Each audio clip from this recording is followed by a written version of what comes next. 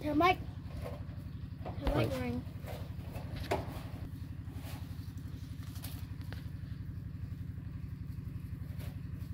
thịt lớn thịt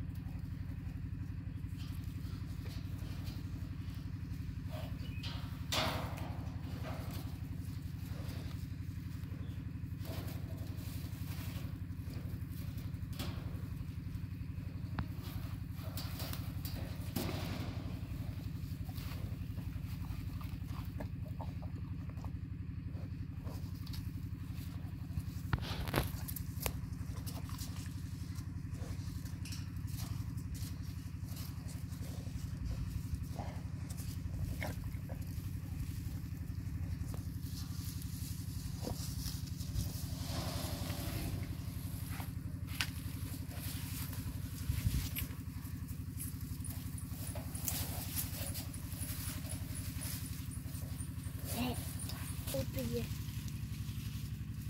ចាក់ចាក់សាក់មួយ